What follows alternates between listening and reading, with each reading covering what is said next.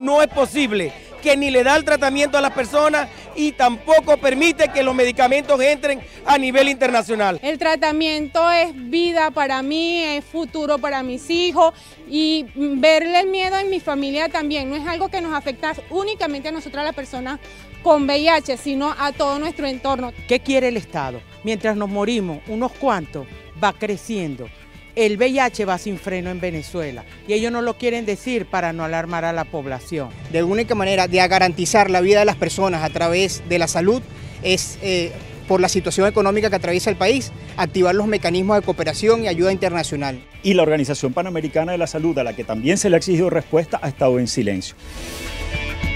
Vivo Play realmente te conecta.